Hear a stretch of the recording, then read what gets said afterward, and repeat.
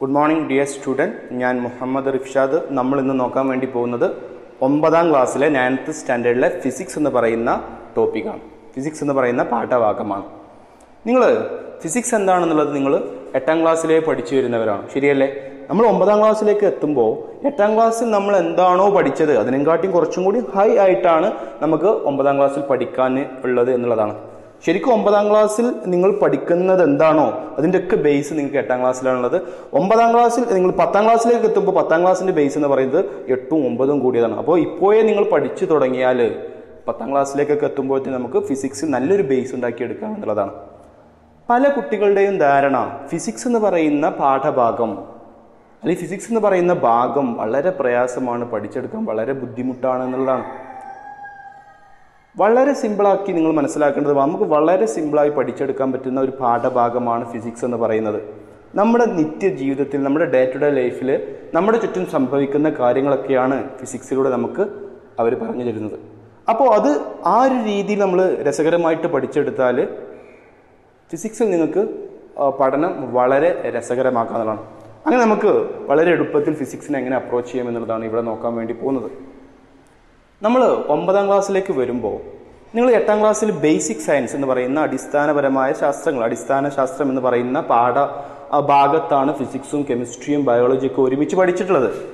അതിൽ നിന്നും വിഭിന്നമായിട്ട് ഒമ്പതാം ക്ലാസ്സിലേക്ക് വരുമ്പോൾ ഫിസിക്സ് വേറെയും കെമിസ്ട്രി വേറെയും അതുപോലെ തന്നെ ബയോളജി ഇത് ഓരോന്നും ഓരോന്നും ഓരോന്നും സെപ്പറേറ്റ് ചെയ്തിട്ട് ഓരോ ടെക്സ്റ്റ് ടെക്സ്റ്റ് ബുക്കായിട്ടാണ് നമുക്ക് പഠിക്കാനുള്ളത്. ഒമ്പതാം ക്ലാസ്സിനെ സംബന്ധിച്ചിടത്തോളം ഫിസിക്സ് എന്ന് പറയുന്ന ടെക്സ്റ്റ് ബുക്ക് രണ്ട് പാർട്ടായിട്ട് എട്ട് ചാപ്റ്ററുകളാണ് നമുക്കുള്ളത്. ഫസ്റ്റ് ചാപ്റ്റർ ഫസ്റ്റ് പാഠഭാഗത്ത് നമുക്ക് നാല് ചാപ്റ്ററുകളാണ് പഠിക്കാനുള്ളത്.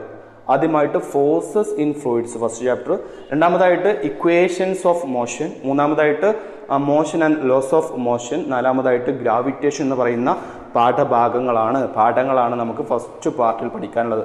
നമ്മൾ ഇന്നിവിടെ ചർച്ച ചെയ്യാൻ വേണ്ടി പോകുന്നത് ഫിസിക്സിലെ ഫസ്റ്റ് ചാപ്റ്റർ ആയിട്ടുള്ള ഒമ്പതാം ക്ലാസ്സിലെ ഫിസിക്സിലെ ഫസ്റ്റ് ചാപ്റ്റർ ആയിട്ടുള്ള ഫോഴ്സസ് ഇൻ ഫ്ലൂയിഡ്സ് അതായത് ദ്രവ ഫലങ്ങൾ എന്ന് പറയുന്ന ചാപ്റ്ററാണ് ആ പേര് ശ്രദ്ധിച്ചാൽ നമുക്ക് മനസ്സിലാവും. ഫോഴ്സസ് ഫലങ്ങൾ ഇൻ ഫ്ലൂയിഡ്സ് ദ്രവങ്ങളിലുള്ള ബലങ്ങൾ അല്ലെങ്കിൽ ദ്രവങ്ങളിൽ അനുഭവപ്പെടുന്ന ബലങ്ങൾ അപ്പൊ എന്താണ് ഫോഴ്സ് എന്താണ് ദ്രവങ്ങൾ?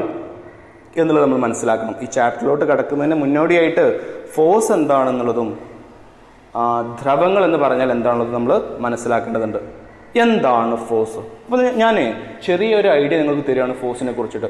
ഫിസിക്സിൽ ഞാൻ നേരത്തെ സൂചിപ്പിച്ച ഇക്വേഷൻസ് ഓഫ് മോഷൻ എന്ന് പറയുന്ന രണ്ടാമത്തെ ചാപ്റ്ററും motion and laws of motion എന്ന് പറയുന്ന മൂന്നാമത്തെ ചാപ്റ്ററും പഠിക്കുമ്പോഴേ നിങ്ങൾ ബലം എന്താണെന്നുള്ളത് പൂർണമായിട്ട് പഠിക്കുന്നുള്ളൂ.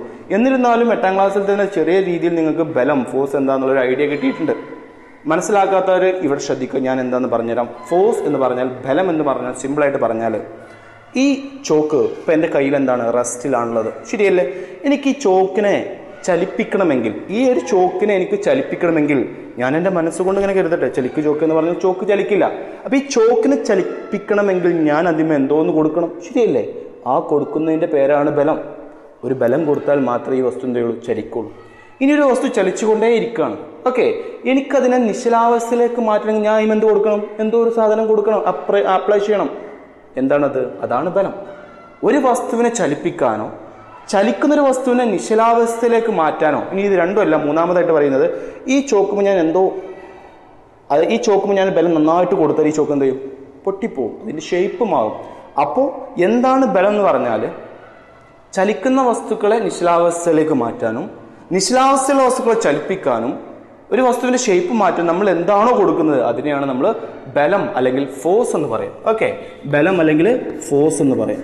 ഓക്കെ നമ്മൾ ഇംഗ്ലീഷ് അക്ഷരമാരയിലെ ലെറ്ററിലെ ആൽഫബറ്റിലെ എഫ് കൊണ്ടാണ് ബലത്തെ സൂചിപ്പിക്കാറ്. ക്യാപിറ്റൽ ലെറ്റർ എഫ് കൊണ്ടാണ് ബലത്തെ സൂചിപ്പിക്കാറ്. ഫോഴ്സിനെ സൂചിപ്പിക്കാറ്. ഫോഴ്സ് കാണാനുള്ള ഇക്വേഷൻ എന്ന് പറയുന്നത് മാസ് ഇന്റു ആക്സിലറേഷനാണ് മാസ് എന്താന്ന് നിങ്ങൾക്കറിയാം? ഈ ചോക്കിനെ സംബന്ധിച്ചിടത്തോളം ചോക്കിന്റെ മാസ് എന്താന്ന് ചോദിച്ചാൽ ഈ ചോക്കിൽ അടങ്ങിയിട്ടുള്ള മാറ്ററിന്റെ അളവാണ്. The quantity of the amount of matter contain it ഈ ചോക്കിൽ അടങ്ങിയിട്ടുള്ള ദ്രവ്യത്തിന്റെ അളവാണ് ഇതിന്റെ മാസ് എന്ന് പറയുന്നത്. ഇതിന്റെ ആക്സലറേഷൻ ഇതിന്റെ ത്വരണം എ എന്ന് പറഞ്ഞാൽ ആക്സലറേഷൻ ആണ്. എ എന്ന് പറഞ്ഞാൽ ത്വരണമാണ്. ത്വരണം എന്ന് പറഞ്ഞാൽ നിങ്ങൾ എട്ടാം ക്ലാസ്സിൽ നിങ്ങൾക്ക് ഒരു ഐഡിയ കിട്ടിയിട്ടുണ്ട്. Rate of change of velocity അങ്ങനെ പറഞ്ഞാൽ പ്രവേഗ മാറ്റത്തിലെ നിരക്കാണ് ആക്സലറേഷൻ അപ്പോൾ അതിലേക്ക് കൂടുതലായിട്ട് ഇപ്പോൾ നമ്മൾ കിടക്കുന്നില്ല. ഫിസിക്സിലെ തന്നെ നമ്മൾ രണ്ടാമത്തെ ഇക്വേഷൻസ് ഓഫ് മോഷനും ലോസ് ഓഫ് മോഷനൊക്കെ നമ്മൾ പഠിക്കുമ്പോൾ നമ്മൾ ഫോഴ്സിനെ കുറിച്ച് കൂടുതലായിട്ട് ഡീറ്റെയിൽ ചെയ്ത് പഠിക്കും.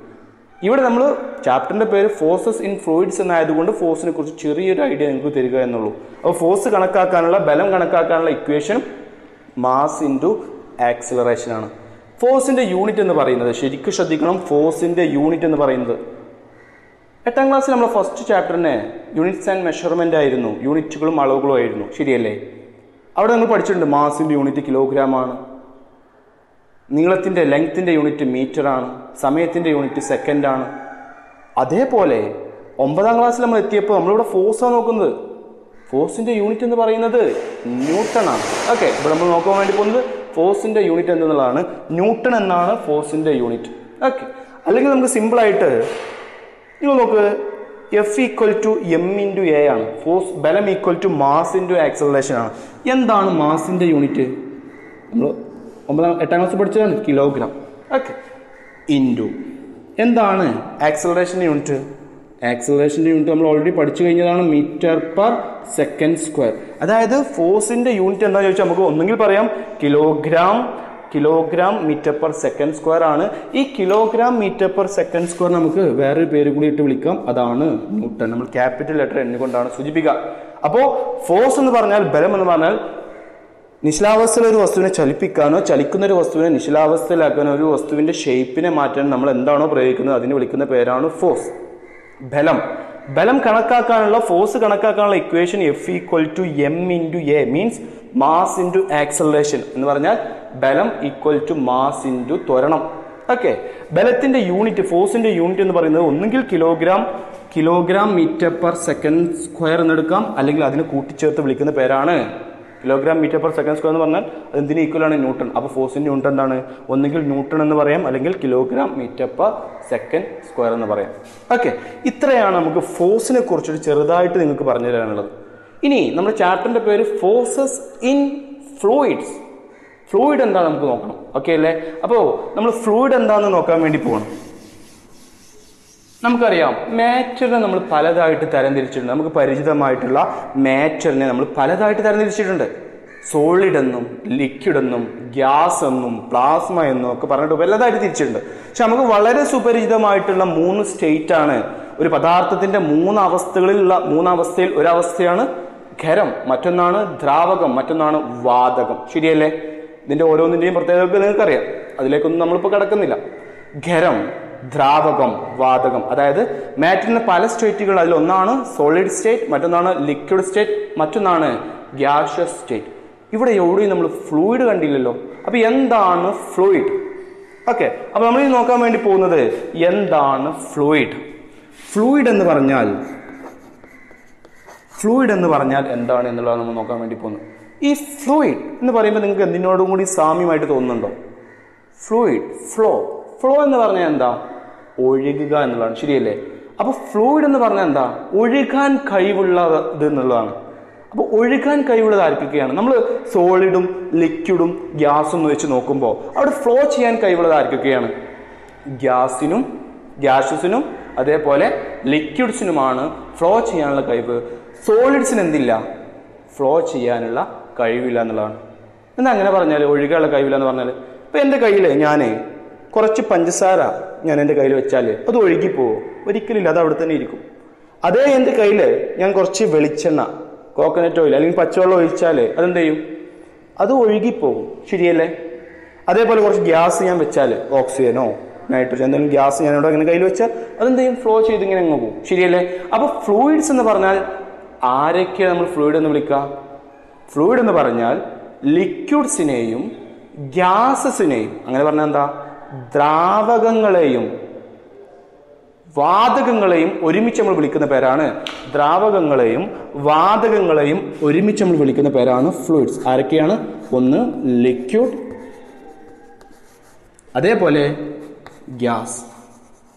ഓക്കെ ഈ ഫ്ലൂയിഡിന്റെ മലയാളമാണ് ദ്രവം. അപ്പൊ ദ്രവം എന്ന് പറഞ്ഞാൽ എന്താണെന്ന് ചോദിച്ചാൽ നമ്മൾ ആദ്യം മനസ്സിലാക്കണം. എന്താണ് ദ്രവം എന്ന് പറഞ്ഞാൽ എന്താണ്? ദ്രവം എന്ന് പറഞ്ഞാൽ പഠിച്ചു വെച്ചോ. ലിക്വിഡ്. ലിക്വിഡ് എന്ന് പറഞ്ഞാൽ ആരാ? ദ്രാവകം. പ്ലസ് ഗ്യാസ് വാതകം. അപ്പോൾ ദ്രാവകങ്ങളെയും വാതകങ്ങളെയും നമ്മൾ ഒരുമിച്ച് വിളിക്കുന്ന പേരാണ് ദ്രവം. ദ്രാവകങ്ങളെയും വാതകങ്ങളെയും നമ്മൾ ഒരുമിച്ച് വിളിക്കുന്ന പേരാണ് ദ്രവം.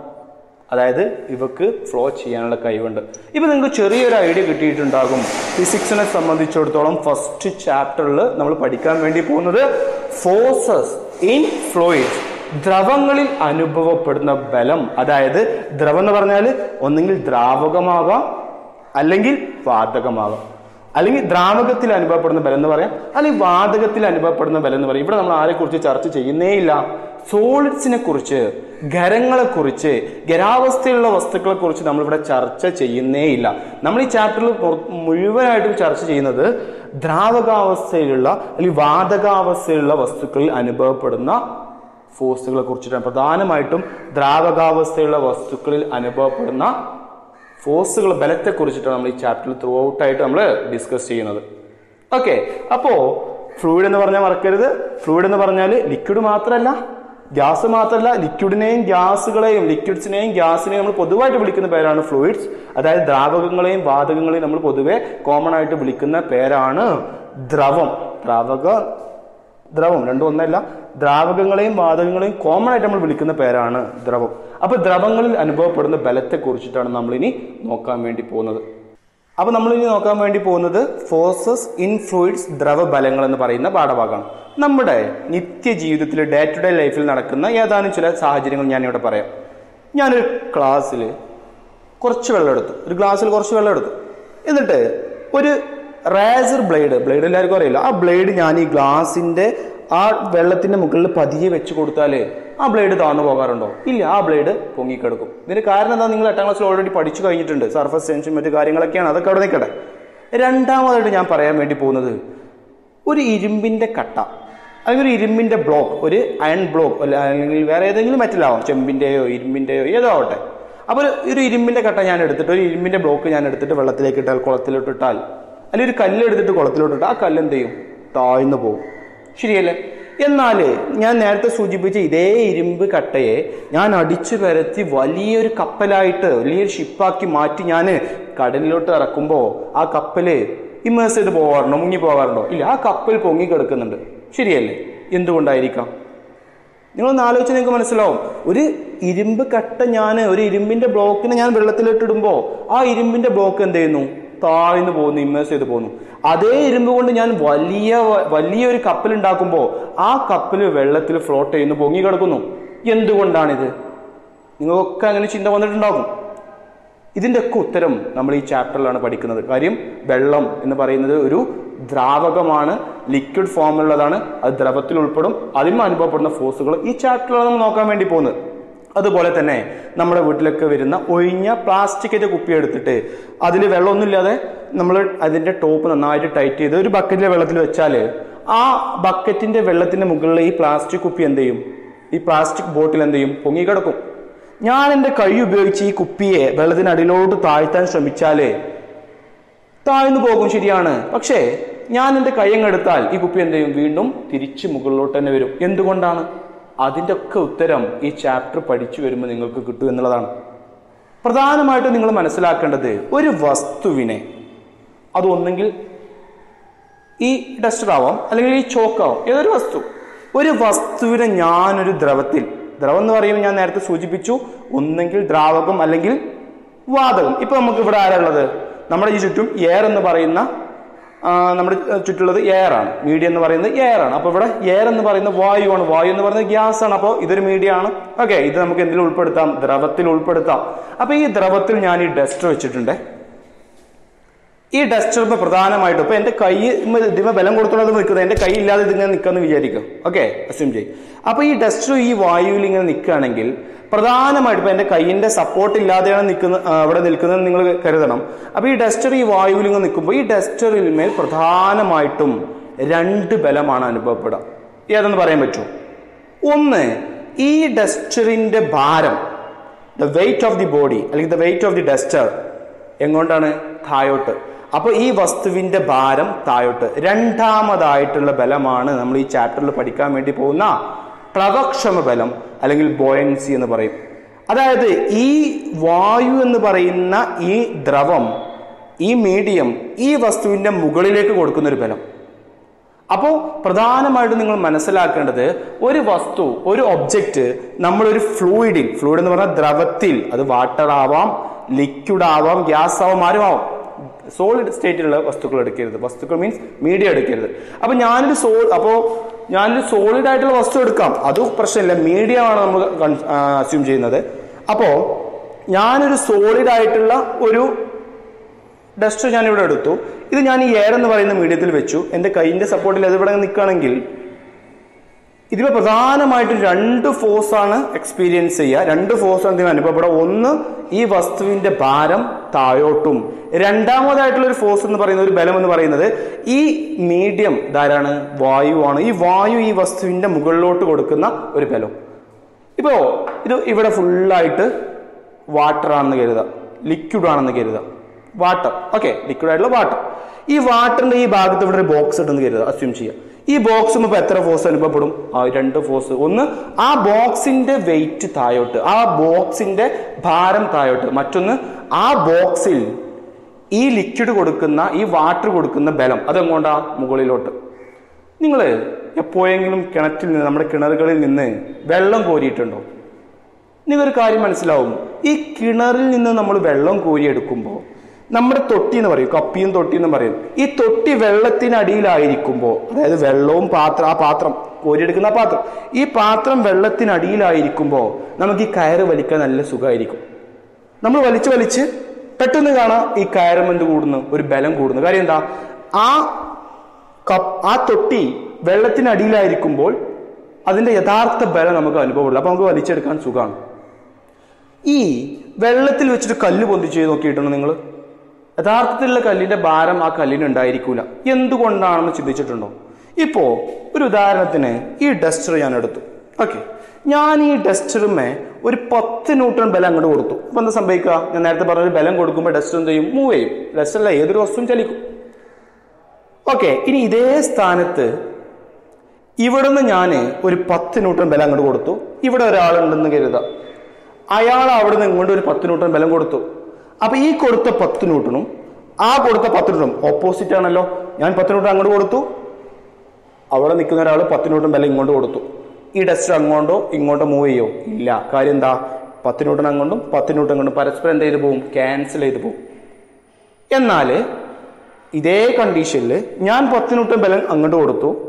നേരത്തെ ഇവിടെ നിന്ന ആൾ ഈ ഭാഗത്തേക്ക് വന്ന് എന്നോട് കൂടി ഇതിന് പത്ത് ന്യൂട്ടൺ കൂടി കൊടുത്തപ്പോൾ ടോട്ടൽ ഇരുപത് ന്യൂട്ടൺ വെച്ചിട്ട് എന്ത് ചെയ്യും? നല്ല സ്പീഡിൽ അങ്ങോട്ട് തെറിച്ചു പോകും അതേപോലെ നമ്മൾ വെള്ളത്തിൽ നിന്നൊരു ഒബ്ജക്റ്റിനെ പൊന്തിക്കുമ്പോൾ നമ്മൾ ഓൾറെഡി ആ ഒബ്ജക്റ്റിന് ഇതാ ഇപ്പൊ ഞാൻ ഈ വസ്തു വെള്ളത്തിൽ നിന്ന് പൊക്കിയെടുക്കുകയാണെങ്കിൽ ഇവിടൊക്കെ വെ- ഇതുവരെ വെള്ളമാണെന്ന് കരുത്. ഇത് പൊക്കിയെടുക്കുമ്പോൾ ഞാൻ ഓൾറെഡി ഇതിന് ബലം കൊടുക്കുന്നുണ്ട്. കൂടാതെ ഈ വെള്ളവും ഇതിന്റെ മുകളിലോട്ട് എന്ത് കൊടുക്കുന്നുണ്ട്? ഒരു ബലം കൊടുക്കുന്നുണ്ട്. ആ ബലത്തിന്റെ പേരാണ് പ്ലവക്ഷമ ബലം ബോയൻസ് ഫോഴ്സ് ബോയൻസി എന്ന് പറയും. അതിനെ കുറിച്ചിട്ടാണ് നമ്മൾ ഇനി ഈ ചാപ്റ്ററിൽ നോക്കാൻ വേണ്ടി പോകുന്നത്. ഓക്കെ.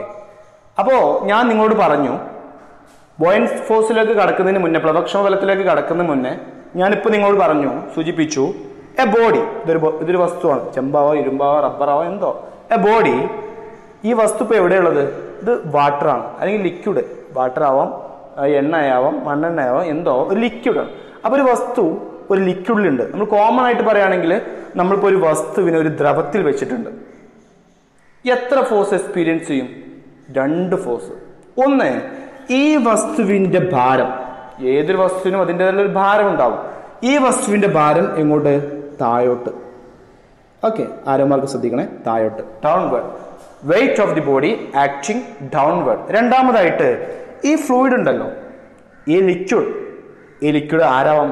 വെള്ളമോ? എന്തോ ആയിക്കോട്ടെ. ഇത് ലിക്വിഡ് ആണല്ലോ ദ്രാവകമാണല്ലോ. ഈ ദ്രാവകം ഈ വസ്തുവിൽ മുകളിലേക്ക് കൊടുക്കുന്ന ബലം. ആരോമാർക്ക് ശ്രദ്ധിക്കണം. എങ്ങനെയാണ് ദ്രാവകം എങ്ങനെ ബലം കൊടുക്കുന്നത്? ഈ ദ്രാവകം ഇതിന്റെ മുക എങ്ങനെ മുകളിലോട്ട് കൊടുക്കുന്ന ബലം.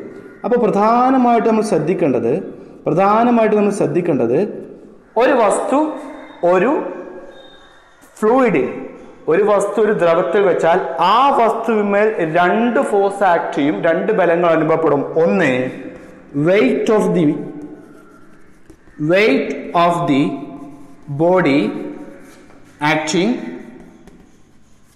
downward weight of the body acting downward രണ്ട് the force the force exerted by the fluid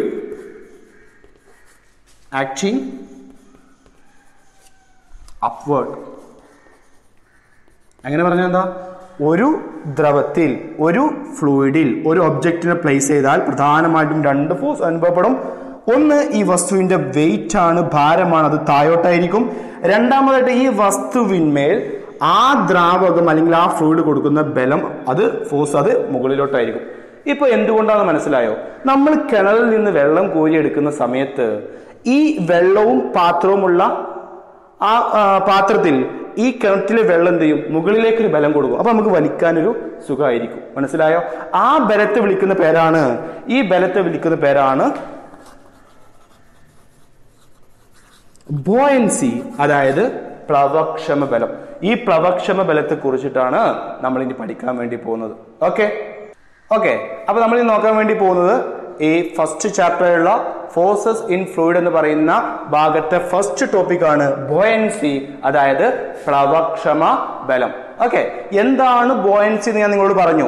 ഒരു വസ്തു ഒരു ദ്രാവകത്തിലായിരിക്കുമ്പോ അല്ലെങ്കിൽ ഗ്യാസിലായിരിക്കുമ്പോൾ ആ ഗ്യാസ് അല്ലെങ്കിൽ ആ ദ്രാവകം കോമൺ ആയിട്ട് പറഞ്ഞ ഫ്ലൂയിഡ് ആ ഫ്ലൂയിഡ് ആ വസ്തുവിന്മേൽ ഒരു ബലം മുകളിലേക്ക് കൊടുക്കും. ആ മുകളിലേക്ക് കൊടുക്കുന്ന ബലമാണ് പ്ലവക്ഷമ ബലം അല്ലെങ്കിൽ buoyant force okay text book പ്രകാരം എന്താണ് ബോയൻസി അല്ലെങ്കിൽ ബോയൻ ഫോഴ്സിന് അല്ലെങ്കിൽ പ്ലവക്ഷമ ബലത്തിന് എന്താണ് ഡെഫിനിഷൻ എന്ന് ചോദിച്ചാൽ when a body is immersed completely or partially in a fluid the fluid exert an upward force on that body.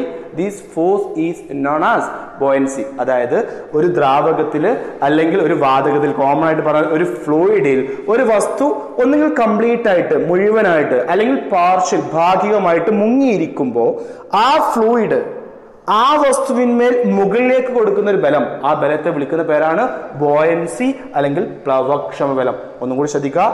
When a body is immersed completely or partially in a fluid the fluid exert an upward force on that body this force is known as buoyancy അങ്ങനെ പറഞ്ഞാൽ ഒരു വസ്തു ഒരു ദ്രവത്തിൽ പൂർണമായോ ഭാഗികമായോ മുങ്ങിയിരിക്കുമ്പോൾ ആ ദ്രവം ആ വസ്തുവിൽ മുകളിലേക്കൊരു ബലം പ്രയോഗിക്കും. ആ ബലത്തെ വിളിക്കുന്ന പേരാണ് പ്ലവക്ഷമ ബലം ബോയൻസി എന്നുള്ളത്. നിങ്ങളിവിടെ നോക്കിയാൽ കാണാൻ പറ്റും. ഓക്കെ ഇപ്പൊ നമ്മൾ എന്ത് കണ്ടു? എന്താണ് ബോയൻസി അല്ലെ എന്താണ് പ്ലവക്ഷമ ബലം നമ്മൾ കണ്ടു. ബോയൻ ഫോഴ്സ് അല്ലെങ്കിൽ പ്ലവക്ഷമ ബലം ഒരു ബലം ഉണ്ട് ഉണ്ടെന്ന് പറഞ്ഞിട്ട് കാര്യമില്ല. ആ ബലം എങ്ങനെ കണ്ടെത്താം? ഞാൻ ഈ ക്ലാസ് തുടങ്ങുന്നതിന് മുന്നേ നിങ്ങളോട് പറഞ്ഞു സാധാരണ ബലം കാണാനുള്ള ഇക്വേഷൻ എന്താണ്? F equal to M A okay ഇവിടെ ആക്സലറേഷനോ അല്ലെങ്കിൽ ത്വരണമോ ഒന്നുമില്ല.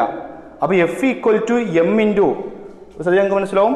F equal to M into A അപ്പോൾ ഇവിടെ ആക്സലറേഷൻ ഇല്ലാത്തത് കൊണ്ട് ഈ ഒരു ഇക്വേഷൻ വെച്ച് ഈ ഒരു സമവാക്യം വെച്ച് നമുക്ക് എന്ത് കണ്ടെത്താൻ? എന്ത് കണ്ടെത്താൻ കഴിയില്ല? പ്ലവക്ഷമബലം കണക്കാക്കാൻ കഴിയില്ല അപ്പൊ നമ്മളിനി നോക്കാൻ വേണ്ടി പോകുന്നത് ഹൗ ടു ഫൈൻ ബോയൻസി പ്ലവക്ഷമ ബലം എങ്ങനെ കണ്ടെത്താം? How to calculate buoyant force പ്ലവക്ഷമ ബലത്തെ നമുക്ക് എങ്ങനെ കാൽക്കുലേറ്റ് ചെയ്യാം? എങ്ങനെ നമുക്ക് അളക്കാം? അതാണ് നമ്മൾ നോക്കാൻ വേണ്ടി പോകുന്നത്. പ്ലവക്ഷമബലം കണ്ടെത്തുന്നതിന് മുന്നോടിയായിട്ട് നമുക്ക് ആദ്യമായിട്ട് അറിയേണ്ട ടേമുകളാണ് രണ്ട് ടേമുകളുണ്ട് ഒന്ന് മാസ് എല്ലാവർക്കും പരിചയമുള്ള ടേമാണ് മാസ് മറ്റൊന്ന് വെയിറ്റ് പല കുട്ടികളും ഇതുവരെ ധരിച്ചു വെച്ചിട്ടുണ്ടാവുക. മാസും വെയിറ്റും ഒന്നാണ് എന്നുള്ളതാണ്. എന്നാൽ നിങ്ങൾ മനസ്സിലായിക്കോ? മാസും വെയിറ്റും ഒന്നല്ല. മാസും വെയിറ്റും രണ്ടാണ്. അപ്പൊ എന്താണ് മാസ് എന്താണ് വെയിറ്റ് ഒരു വസ്തുവിന്റെ മാസ് എന്നതുകൊണ്ട് എന്താണ് ഉദ്ദേശിക്കുന്നത്? ഒരു വസ്തുവിന്റെ വെയിറ്റ് എന്നുള്ളത് കൊണ്ട് നമ്മൾ എന്താണ് ഉദ്ദേശിക്കുന്നത് എന്നുള്ളതാണ് നമ്മൾ ഇനി പറയാൻ വേണ്ടി പോകുന്നത്. ഓക്കെ ഓക്കെ അപ്പൊ നമ്മൾ മാസ് എന്താണെന്നും വെയിറ്റ് എന്താണെന്നും എന്നുള്ളതാണ് നോക്കാൻ വേണ്ടി പോകുന്നത്. മാസ് ആൻഡ് വെയിറ്റ് വെയിറ്റിന്റെ മലയാളം ഭാരം. മാസ് എന്ന് പറഞ്ഞാൽ മാസ് അല്ല. അപ്പോ ഇപ്പൊ എന്നെ സംബന്ധിച്ചിടത്തോളം എന്റെ മാസ് എന്ന് പറയുമ്പോൾ സാധാരണ നമ്മളൊക്കെ നമ്മൾ മാസ് കാണാറ് എങ്ങനെയാണ്? ഒരു ത്രാസിൽ ഒരു കോമൺ ബാലൻസ് സാധാരണ ഒരു ത്രാസിൽ നമ്മൾ പോയിട്ട് നമ്മളെ തൂക്കം നോക്കുമ്പോൾ നമുക്കൊരു വാല്യൂ കിട്ടും. ഓക്കെ എന്നാൽ ഭാരം എന്ന് പറഞ്ഞാൽ എന്താണ്? മാസും ഭാരവും വ്യത്യാസമാണെന്ന് പറയാനുള്ള കാരണം ഞാൻ ഇതിന്റെ ഡെഫിനിഷൻ പറയുമ്പോൾ നിങ്ങൾക്ക് മനസ്സിലാവും. അപ്പൊ മാസ് എന്ന് പറഞ്ഞാൽ എന്താണ്? മാസ് എന്ന് പറഞ്ഞാൽ amount of matter contain in it അതായത് ഇപ്പൊ എന്നെ സംബന്ധിച്ചിടത്തോളം എന്റെ മാസ് എന്ന് പറയുമ്പോൾ എന്റെ എല്ല് എന്റെ പല്ല് നഖം തൊലി എന്റെ ശരീരത്തിൽ എന്റെ ബ്ലഡ് എന്തൊക്കെയോ ഉണ്ടോ അതിന്റെ എല്ലാം കൂടി ടോട്ടൽ ഒരു അളവിനെ വിളിക്കുന്ന പേരാണ് മാസ്. ഓക്കെ അതായത് amount of matter contain in it അതായത് ഒരു വസ്തു ഏത് വസ്തുവിന്റെ മാസ് ആണോ ആ വസ്തുവിൽ അടങ്ങിയിരിക്കുന്ന ദ്രവ്യത്തിന്റെ അളവ്. അപ്പൊ ഒരു വസ്തുവിൽ അടങ്ങിയിരിക്കുന്ന ദ്രവ്യത്തിന്റെ അളവാണ് മാസ് എന്ന് പറയുന്നത്. അപ്പൊ മാസിന്റെ യൂണിറ്റ് എന്താ വരിക? നമ്മൾ സാധാരണ കടകളൊക്കെ ചെന്നിട്ട് ഒരു കിലോഗ്രാം അപ്പൊ മാസിന്റെ യൂണിറ്റ് സാധാരണ നമ്മൾ പറയാറ് കിലോഗ്രാമിലാണ് എന്താണ്? കിലോഗ്രാം സാധാരണ നോർമൽ കേസിൽ മാസ് മാസ് അതിന്റെ യൂണിറ്റ് എന്താണ്? മാറിപ്പോയത് കിലോഗ്രാം ആണ് കെ ജിയിലാണ് നമ്മൾ പറയാം. ഓക്കെ എന്നാൽ വെയിറ്റ് ഭാരം. മാസിൽ നിന്നും തീർത്തും വ്യത്യസ്തനാണ് ഭാരം എന്ന് പറയാനുള്ള കാരണം. ഇതിന്റെ ഡെഫിനിഷൻ നോക്കിയാൽ നിങ്ങൾക്ക് മനസ്സിലാവും. എന്താണ് ഭാരം എന്ന് പറഞ്ഞാൽ? വെയിറ്റ് അതായത് ഭാരം. Weight is the measurement of pull of gravity on an object അങ്ങനെ പറഞ്ഞാൽ എന്താണ്? Weight is the measurement of pull of gravity on an object എന്ന് പറഞ്ഞാൽ ഇപ്പൊ എന്നെ സംബന്ധിച്ചിടത്തോളം ഭൂമി. നമുക്കറിയാം നമ്മൾ ഈ ഫിസിക്സിൽ ഈ ഒമ്പതാം ക്ലാസ്സിൽ നമ്മുടെ നാലാമത്തെ ചാപ്റ്ററിന്റെ ഗ്രാവിറ്റേഷൻ ആണ്. അതിൽ നമ്മൾ കൂടുതൽ ഡീറ്റെയിൽ ആയിട്ട് പഠിക്കും. അപ്പൊ നിങ്ങൾ ഒരു കാര്യം ഇത്ര മനസ്സിലാക്കുക. ഒരു ഉണങ്ങിയ തേങ്ങ തെങ്ങിൽ നിന്ന് താഴോട്ടാണ് വീഴുക ഒരു മാങ്ങ താഴോട്ടാണ് വീഴുക. അപ്പൊ ഞാൻ ഇവിടുന്ന് എടുത്ത് ചാടിയാൽ ഞാൻ താഴോട്ടാണ് വരിക. കാര്യം ഭൂമി ഭൂമിയിലുള്ള എല്ലാ വസ്തുക്കളെയും അതിന്റെ സെന്ററിലോട്ട് കേന്ദ്രത്തിലോട്ട് ആകർഷിക്കുന്നുണ്ട്.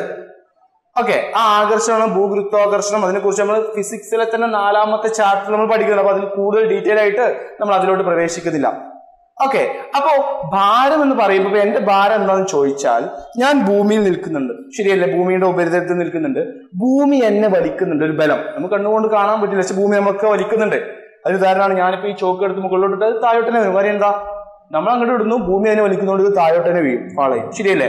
ഓക്കെ അപ്പോ ഭാരം എന്ന് പറയുമ്പോൾ എന്നെ സംബന്ധിച്ചിടത്തോളം എന്റെ ഭാരം എന്ന് പറയുന്നത് ഞാൻ ഭൂമിയിൽ നിൽക്കുമ്പോൾ ഭൂമി എന്നെ വലിക്കുന്നുണ്ട്. അപ്പൊ ഭൂമി എന്നെ വലിക്കുന്നത് കൊണ്ട് ആ വലിവ് കൊണ്ട് ഞാൻ ആ ഭൂമിയിൽ പ്രയോഗിക്കുന്ന ബലം ഫോഴ്സ് ആണ് ശരിക്ക് ഭാരം വെയിറ്റ് എന്ന് പറയുന്നത്. ഒരു ഫോഴ്സ് ആയതുകൊണ്ട് തന്നെ അതിന്റെ യൂണിറ്റ് എന്താണ്? ഭാരത്തിന്റെ യൂണിറ്റ് ന്യൂട്ടൺ ആണ്. ഫോഴ്സിന്റെ ഒക്കെ യൂണിറ്റ് ന്യൂട്ടൺ ആണ്. അതുകൊണ്ട് ഭാരത്തിന്റെ യൂണിറ്റ് എന്താണ്? ന്യൂട്ടൺ ആണ്. മാറിപ്പോയത് മാസിന്റെ യൂണിറ്റ് കിലോഗ്രാം ആണ് ഭാരത്തിന്റെ യൂണിറ്റ് ന്യൂട്ടൺ ആണ്. കാര്യം ഭാരം എന്ന് പറയുന്നത് ഭൂമിയുടെ ആകർഷണം മൂലം അതായത് ഗുരു ഭൂഗുരുത്വാകർഷണം മൂലം ഒരു വസ്തു ഭൂമിയിൽ പ്രയോഗിക്കുന്ന ബലമാണ് ആ വസ്തുവിന്റെ ഭാരം. എന്നെ സംബന്ധിച്ച് ഭൂമി എന്നെ വലിക്കുകയാണെങ്കിൽ ആ വലിവ് കൊണ്ട് ഞാൻ ഭൂമിയിൽ കൊടുക്കുന്ന ഒരു ബലം ആ ബലത്തെയാണ് നമ്മൾ ഭാരം എന്ന് പറയാ. അപ്പൊ മാസും ഭാരവും വ്യത്യസ്തരാണ്. രണ്ടും ഒന്നല്ല. മാസിന്റെ യൂണിറ്റ് കിലോഗ്രാം ആയിരിക്കും. ഭാരത്തിന്റെ യൂണിറ്റ് ന്യൂട്ടൺ ആയിരിക്കും കാരണം ഭാരം എന്ന് പറയുന്നത് ഭൂമിയിൽ വസ്തുവിനെ വലിക്കുമ്പോൾ ആ വസ്തു ഭൂമിയിൽ കൊടുക്കുന്ന ബലമാണ് ഫോഴ്സ് ആണ്. ഓക്കെ അതുകൊണ്ട് ഭാരത്തിന്റെ യൂണിറ്റ് ന്യൂട്ടൺ ആണ് അതേസമയം മാസിന്റെ യൂണിറ്റ് കിലോഗ്രാം ആണ്. ഇനി നമുക്ക് എന്ത് നോക്കാം? കാര്യം ബോയിൻ ഫോഴ്സ് മെഷർ ചെയ്യുമ്പോൾ പ്രവക്ഷമാനം അളക്കുന്നത് നമ്മൾ വസ്തുവിന്റെ മാസിലല്ല ഭാരത്തിലാണ്. അപ്പൊ അവിടെ ഒക്കെ ന്യൂട്ടൺ ന്യൂട്ടൺ എന്നാണ് വരിക. എന്തുകൊണ്ട് ന്യൂട്ടൺ വന്നു? ഭാരമാണ്. ഭാരം എന്ന് പറയുന്നത് ഒരു ബലമാണ് ഭൂമിയിൽ പ്രയോഗിക്കുന്ന ബലമാണ് ഭൂമിയുടെ വലിയ മൂലം. അതുകൊണ്ട് ഭാരത്തിന്റെ യൂണിറ്റ് ന്യൂട്ടൺ ആണ്. അപ്പൊ ഇനി നമ്മൾ നോക്കാൻ വേണ്ടി പോകുന്നത് how to calculate buoyant force പ്രവക്ഷമ ബലം നമുക്ക് എങ്ങനെ കാൽക്കുലേറ്റ് ചെയ്യാം എങ്ങനെ അളക്കാം എന്നുള്ളതാണ്. ഓക്കെ അപ്പൊ നമ്മൾ ഇനി നോക്കാൻ വേണ്ടി പോകുന്നത് ഹൗ ടു മെഷർ ബോയൻസി പ്ലവക്ഷമ ബലം നമുക്ക് എങ്ങനെ അളക്കാം എന്നുള്ളതാണ്. അപ്പൊ ബലമാണ് പ്ലവക്ഷമ ബലമാണ് ബോയിൻ ഫോഴ്സ് ആണ് അപ്പൊ അളക്കുമ്പോൾ ന്യൂട്രലാണ് കിട്ടുക. ഓക്കെ നമ്മൾ നേരത്തെ പറഞ്ഞല്ലോ മാസും വെയിറ്റും സാധാരണ മാസ് നമ്മൾ അളക്കാൻ വേണ്ടി ഉപയോഗിക്കുന്ന നമ്മൾ കടകളിലൊക്കെ ഉപയോഗിക്കുന്ന സാധാ കോമൺ ബാലൻസ് ആണ്. നമ്മൾ ത്രാസ് എന്ന് പറയും. സാധാരണ ത്രാസ് ആണ് കോമൺ ബാലൻസ് ആണ്. വെയിറ്റ് അളക്കാൻ വേണ്ടി നമ്മൾ ഉപയോഗിക്കുന്നത് സ്പ്രിംഗ് ബാലൻസ് ആണ്. ഇനി ഞാൻ പറയാൻ വേണ്ടി പോകുന്നത് എന്റെ കയ്യിൽ ഒരു കല്ലുണ്ട്. അല്ലെങ്കിൽ ഒരു ഒബ്ജക്റ്റ് ഉണ്ട്. കല്ലോ ഇരുമ്പോ എന്തോ ആവാം. അപ്പൊ എന്റെ കയ്യിൽ അൻപത് ന്യൂട്ടണിലുള്ള അതായത് അൻപത് ന്യൂട്ടൺ ഭാരമുള്ള അപ്പൊ ഇതിന്റെ ഭാരം എന്ന് പറയുന്നത് ഞാൻ പറഞ്ഞു ഭാരത്തിന്റെ യൂണിറ്റ് ന്യൂട്ടൺ ആയിരിക്കും. അപ്പോ എന്റെ കയ്യിൽ ഒരു കല്ലുണ്ട്. ആ കല്ലിന്റെ ഭാരം എന്ന് പറയുന്നത് അൻപത് ന്യൂട്ടൺ ആണ് എനിക്ക് എങ്ങനെ കിട്ടി? ഞാനത് സ്പ്രിംഗ് ബാലൻസ് വെച്ചിട്ട് മെഷർ ചെയ്തപ്പോൾ എനിക്കത് അൻപത് ന്യൂട്ടൺ കിട്ടി. ഈ കല്ലിനെ ഞാൻ നമ്മൾ പ്ലവക്ഷമ ബലമാണല്ലോ അളക്കുന്നത്. അപ്പൊ പ്ലവക്ഷമം എന്ന് പറയുമ്പോൾ നമ്മുടെ ബോയിൻ ഫോഴ്സ് ആണ്. അത് ദ്രാവകങ്ങളിലോ വാതകങ്ങളിലോ ആണ് അനുഭവപ്പെടാം അപ്പൊ ഈ കല്ലിനെ ഞാൻ ഈ ദ്രാവകത്തിലിട്ടു. ഇത് ഒരു ദ്രാവകം. നമ്മൾ ദ്രാവകം ഏതാണെന്നൊന്നും പറയുന്നില്ല. അപ്പൊ ഈ കല്ലിനെ ഞാൻ ഈ ദ്രാവകത്തിലേക്ക് ഇട്ടു. ഓക്കെ. അപ്പൊ ഈ കല്ലിപ്പ് ഉള്ളത് എവിടെയാണ്? നമ്മൾ എടുത്ത ഈ അൻപത് ന്യൂട്ടൺ ഭാരമുള്ള കല്ലിപ്പ് ഞാൻ ഈ വെള്ളത്തിലിട്ടിട്ടുണ്ട്. ഓക്കെ. ഇനി ഞാൻ ഇതിനെ ഇതിന്റെ ഭാരം അളക്കുമ്പോൾ ഇതിന്റെ ഭാരം ഞാൻ സ്പ്രിംഗ് ബാലൻസ് വെച്ച് അള അളന്ന് നോക്കുമ്പോൾ എനിക്ക് നേരത്തെ കിട്ടിയ അൻപത് കിട്ടില്ല. സ്പ്രിംഗ് ബാലൻസ് സ്പ്രിംഗ് ബാലൻസ് വെച്ച് ഞാൻ ഇതിനെ മെഷർ ചെയ്യുമ്പോൾ എനിക്കൊരു മുപ്പത് ന്യൂട്ടനാണ് കിട്ടിയതെന്ന് കരുത്. ഓക്കെ മുപ്പത് ന്യൂട്ടനാണ് കിട്ടിയത്. അപ്പൊ അതിന്റെ ബാക്കി ഇരുപത് ന്യൂട്ടൺ എവിടെ പോയി? അപ്പൊ ശരിക്കും ശ്രദ്ധിക്കുക നമ്മൾ ചെയ്യാൻ വേണ്ടി പോകുന്നത് നമുക്ക് എങ്ങനെ പ്ലവക്ഷമ ബലം കണക്കാക്കാം എന്നുള്ളതാണ്. അപ്പൊ പ്ലവക്ഷമത എങ്ങനെ കണക്കാക്കാം? അല്ലെങ്കിൽ how to measure buoyancy buoyant എങ്ങനെ കണക്കാക്കാം എന്ന് പറയുമ്പോൾ ഞാൻ ആദ്യം അൻപത് ന്യൂട്ടൺ ഭാരമുള്ള ഒരു കല്ലെടുത്തു. ആ കല്ലിനെ ഞാൻ ദ്രാവകത്തിലേക്ക് ഇട്ടു. ആ ദ്രാവകത്തിൽ വെച്ച് സ്പ്രിംഗ് ബാലൻസ് സ്പ്രിംഗ് ബാലൻസ് എന്ന് പറയുമ്പോൾ ഇങ്ങനെ ഡിവൈസ് ആണ്. ഈ ഡിവൈസിന്റെ ഒരു ഇൻസ്ട്രുമെന്റ് ആണ്. ഈ ഇൻസ്ട്രുമെന്റിന്റെ പ്രത്യേകത എന്ന് പറയുന്നത് അതിൽ വെയിറ്റ് ആണ് അളക്കാൻ പറ്റുക. ഇങ്ങനെ ഒരു ഉക്കൊക്കെ ഉണ്ടാവും. ഈ ഉക്ക് വെച്ചിട്ടാണ് ഞാൻ ഇതിന്റെ ഭാരം നോക്കിയത്. അപ്പൊ എനിക്ക് ഇവിടെ അൻപത് കാണിച്ചു റീഡിങ് അപ്പൊ എനിക്ക് മനസ്സിലായി ഈ കല്ലിന്റെ ഭാരം അൻപത് ന്യൂട്ടൺ ആണെന്നുള്ളത് ഇതേ കല്ലിന് ഞാൻ ഈ ദ്രാവകത്തിലേക്ക് ഇട്ടപ്പോ ഞാൻ ഈ സ്പ്രിംഗ് ബാലൻസ് വെച്ച് തൂക്കി നോക്കുമ്പോൾ എനിക്ക് മുപ്പത് ന്യൂട്ടണിനെ കിട്ടുന്നുള്ളൂ. അപ്പൊ നമ്മൾ മനസ്സിലാക്കേണ്ടത് ബാക്കി ഇരുപത് ന്യൂട്ടൺ എവിടെ പോയി? അപ്പോ ഈ കല്ല് ഇവിടെ വെച്ച് നോക്കുമ്പോ ഞാനിപ്പോ ഇത് എയർ ആണ്. അപ്പോ ഈ എയറിൽ വെച്ച് സ്പ്രിംഗ് ബാലൻസ് വെച്ച് ഞാൻ ഈ വസ്തുവിന് ഇതിന്റെ ഭാരം മെഷർ ചെയ്തപ്പോ എനിക്ക് അൻപത് ന്യൂട്ടൺ കിട്ടി. ഓക്കെ അതേ കല്ലിനെ ഞാൻ വെള്ളത്തിലേക്ക് ഇട്ടപ്പോ അല്ലെങ്കിൽ ഈ ലിക്വിഡ് ഏതാണോ ആ ലിക്വിഡിലേക്ക് ഇട്ടപ്പോൾ ആ ദ്രാവകത്തിലേക്ക് ഇട്ടപ്പോൾ മുപ്പത് ന്യൂട്രൺ എന്നേ കാണിക്കുന്നുള്ളൂ. അപ്പോ ബാക്കി ഇരുപത് ന്യൂട്രൺ എവിടെ പോയി ഞാൻ അന്വേഷിക്കുമ്പോ സിമ്പിൾ ആണ്. യഥാർത്ഥത്തിൽ ഈ കല്ലിന്റെ ഭാരം എന്ന് പറയുന്നത് അൻപത് ന്യൂട്രൺ അത് താഴോട്ടാണല്ലോ. അപ്പൊ ഭാരം അൻപത് ന്യൂട്ടൺ അത് എപ്പോഴും എങ്ങനെയായിരിക്കും? വസ്തുവിന്റെ ഭാരം നമ്മൾ ഫസ്റ്റ് തന്നെ പറയുന്നുണ്ട്. ഒരു വസ്തു ഇപ്പൊ എന്റെയും നിങ്ങളുടെയും ഒക്കെ ഭാരം എപ്പോഴും ഭൂമിന്റെ അടിയിലോട്ടായിരിക്കും അനുഭവപ്പെടുന്ന കാര്യം എന്താ? ഭൂമി നമ്മളെ വലി വലിക്കുന്നത് കൊണ്ടാണ് ഭൂമിയുടെ പുള്ളിയും കൊണ്ടാണ് നമുക്ക് എന്ത് കിട്ടുന്നത്? ഭാരം കിട്ടുന്നത്. അത് എപ്പോഴും താഴോട്ടായിരിക്കും. അപ്പൊ ഈ കല്ലിന്റെ അല്ലെങ്കിൽ ഈ വസ്തുവിന്റെ ഭാരം അൻപത് ന്യൂട്ടൺ അത് അതിന്റെ ഡയറക്ഷൻ കൊണ്ടാണ് താഴോട്ടാണ് ഈ കല്ലിനെ ഞാൻ ഈ ദ്രാവകത്തിൽ ഇട്ടപ്പോഴും ആ കല്ലിന് എത്ര കിട്ടണമായിരുന്നു? അൻപത് ന്യൂട്ടൺ തന്നെ കിട്ടണമായിരുന്നു. പക്ഷേ ഇവിടെ എത്രയേ കിട്ടിയുള്ളൂ? മുപ്പത് ന്യൂട്ടൺ. ബാക്കി ഇരുപത് ന്യൂട്ടൺ എവിടെ ചോദിച്ചാൽ നേരത്തെ ഞാൻ പറഞ്ഞിട്ടുണ്ടായിരുന്നു ഒരു വസ്തുവിനെ നമ്മൾ ദ്രവത്തിൽ എടുക്കുമ്പോൾ ഒരു വസ്തുവിനെ നമ്മളൊരു ദ്രാവകത്തിൽ അല്ലെങ്കിൽ വാതകത്തിൽ കോമൺ ആയിട്ട് പറഞ്ഞ ഒരു ദ്രവത്തിൽ എടുക്കുമ്പോൾ അതിൽ രണ്ട് ബലം അനുഭവപ്പെടും. ഒന്ന് അതിന്റെ ഭാരം താഴോട്ട്. അപ്പൊ ഈ കല്ല് ഈ ദ്രാവകത്തിൽ ഇരുന്നപ്പോഴും അൻപത് ന്യൂട്ടൺ ഉണ്ടായിരുന്നു. പക്ഷേ രണ്ടാമത്തെ ബലമാണ് എന്ന് ഒന്നാം വസ്തുവിന്റെ ഭാരം താഴോട്ടും രണ്ട് ആ വസ്തുവിൽ ആ ദ്രാവകം മുകളിലേക്ക് നൽകുന്ന ഒരു ബലം. അതാണ് പ്രവക്ഷവനം അപ്പോ ശരിക്കും ശ്രദ്ധിച്ചാൽ നിങ്ങൾക്ക് മനസ്സിലാവും ഈ കല്ലിന്റെ ഭാരം അൻപത് ന്യൂട്ടനാണ് വരേണ്ടിയിരുന്നത്. ബട്ട് ഈ ദ്രാവകം ഈ ദ്രാവകം ഈ കല്ലിനെ മുകളിലേക്ക് തള്ളിയപ്പോൾ ഈ ദ്രാവകം ഈ കല്ലിനെ മുകളിലേക്ക് തള്ളിയപ്പോൾ ബാക്കി കല്ലിൽ എത്ര കാണിക്കുന്നുള്ളൂ? മുപ്പത് ന്യൂട്ടൺ. അപ്പൊ ഇരുപതോടെ പോയി? ശരിക്കും അൻപത് ഉണ്ടായിരുന്നു. മുപ്പത് ന്യൂട്ടനെ കാണിക്കുന്നുള്ളൂ. അപ്പൊ ഇരുപത് ന്യൂട്ടൺ ആര് തള്ളിക്കൊടുത്തതാണ്? നമ്മുടെ ഈ ദ്രാവകം ഈ വസ്തുവിൽ മുകളിലോട്ട് തള്ളിക്കൊടുത്തതാണ്. ആ മുകളിലേക്ക് തള്ളുന്ന ബലമാണ് ആ മുകളിലോട്ട് എക്സൈറ്റ് ചെയ്യുന്ന ആ ദ്രാവകം ആ വസ്തുവിൽ മുകളിലോട്ട് എക്സൈറ്റ് ചെയ്യുന്ന ബലമാണ് പ്ലവക്ഷമ ബലം ബോയൻ ഫോഴ്സ് ബോയൻ ഫോഴ്സ് കാണാൻ നമുക്ക് എന്ത് ചെയ്താൽ മതി? ആദ്യം നമുക്ക് വസ്തുവിന്റെ ഭാരം വായുവിൽ കാണണം. പിന്നെ നമുക്ക് എന്ത് കാണണം? വസ്തുവിന് അനുഭവപ്പെടുന്ന ഭാരം ദ്രാവകത്തിൽ കാണണം. എന്നിട്ട് അത് രണ്ടും കൂടി എന്ത് ചെയ്താൽ മതി മൈനസ് ചെയ്താൽ മതി. കുറച്ചാൽ മതി. ഓക്കെ അപ്പൊ ബോയൻസി കാണാൻ ബോർഡ് ശ്രദ്ധിച്ച് നിങ്ങൾക്ക് മനസ്സിലാവും? ബോയൻസി കണക്കാക്കാൻ നമ്മൾ എന്ത് ചെയ്താൽ മതി? Weight of object in air നമ്മൾ ആദ്യം ചെയ്യേണ്ടത് weight of object in air minus കുറക്കണം. ആരെ കുറക്കണം? Weight of object in air minus weight experienced by the object in fluid weight experienced by the object in fluid അങ്ങനെ പറഞ്ഞ എന്താ? വസ്തുവിന്റെ ഭാരം. അപ്പോ ഇവിടെ ഈ കേസ് നമുക്ക് ബോയൻസി കാണുമ്പോൾ എത്ര കിട്ടും? ഞാൻ ഇവിടെ കാണിക്കാം. ബോയൻസി ഞാൻ ബി കൊണ്ട് ബി ഈക്വൽ ടു ഈ വസ്തുവിന്റെ വായുവിലെ ഭാരം എത്രയാണ്? വെയിറ്റ് ഓഫ് ഒബ്ജക്റ്റിന് എയർ എത്രയാണ്? ഇത് വായുവിലെ ഭാരമാണ്. അൻപത് ന്യൂട്ടൺ. ശരിയല്ലേ? മൈനസ് ഈ വസ്തുവിൽ ജലത്തിൽ അനുഭവപ്പെട്ട ഭാരം എത്രയാണ്? മുപ്പത് ന്യൂട്ടൺ. മുപ്പത് ന്യൂട്ടൺ. അപ്പൊ നമുക്ക് ബോയൻസി എത്ര കിട്ടി? ബോയൻസി ബി ഈക്വൽ ടു അൻപത് ന്യൂട്ടൺ മൈനസ് മുപ്പത് ന്യൂട്ടൺ നമുക്ക് എത്ര കിട്ടി? ഇരുപത് ന്യൂട്ടൺ അതായത് ട്വന്റി ന്യൂട്ടൺ എന്ന് കിട്ടി. അപ്പൊ ബോയൻസി എന്ന് പറയുന്നത് എപ്പോഴും ലോസ് ഇൻ വെയിറ്റ് ആയിരിക്കും. ഭാരത്തിലുള്ള കുറവായിരിക്കും. അപ്പൊ ഏതൊരു വസ്തുവിന്റെയും പ്രദക്ഷമ ബലം ബോയൻ ഫോഴ്സ് കണക്കാക്കാൻ ആദ്യം ആ വസ്തുവിന്റെ ഭാരം വായുവിൽ കണക്കാക്കണം. പിന്നെ ആ വസ്തുവിനെ അനുഭവപ്പെടുന്ന ഭാരം ദ്രാവകത്തിൽ അല്ലെങ്കിൽ ഏതാണോ ദ്രാവകം ആ ദ്രാവകത്തിൽ കണക്കാക്കണം. എന്നിട്ട് ഇത് രണ്ടും കൂടി മൈനസ് ചെയ്താൽ മതിയാകും ശരിയല്ലേ? അപ്പൊ എങ്ങനെയാണ് നമുക്ക് ബോയൻ ഫോഴ്സ് ബോയൻസി പ്രദക്ഷബലം കണക്കാക്കാമെന്ന് ചോദിച്ചാൽ buoyancy equal to weight of object in air minus weight experienced by the object in fluid minus ചെയ്താൽ മതിയാകും ശരിയല്ലേ?